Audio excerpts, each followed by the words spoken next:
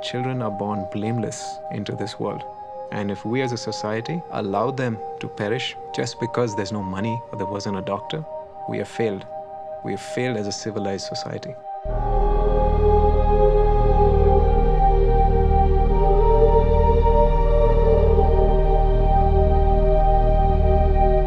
It doesn't matter if you build a huge hospital, it doesn't matter if you have the best equipment, the best medicines, the best doctors. If patients cannot pay for it, then there is no point. Some places you go there because you have to do a job in order to make a living. This is a place where we go home to sleep, come here to live.